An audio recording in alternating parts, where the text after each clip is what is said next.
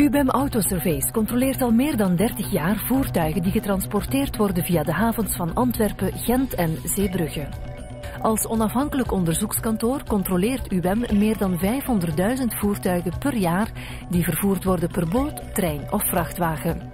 UBEM Autosurveys wordt aangesteld door verzekeringsmaatschappijen, autoconstructeurs of transportbedrijven. Zo doet ons bedrijf op regelmatige basis controles voor Honda, Renault, Audi en BMW. Maar ook kranen, vrachtwagens en onderdelen van voertuigen controleren wij op eventuele schade opgelopen tijdens het transport.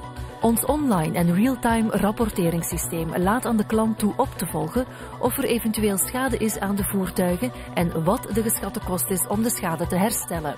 Wij volgen op vraag van de klant de voertuigen vanaf de fabriek tijdens het laden, tijdens of na het lossen en bij het leveren aan de winkel.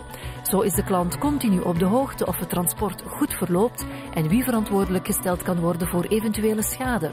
Ons rapporteringssysteem laat toe statistieken te maken over waar aan de wagen er het meest schade voorkomt.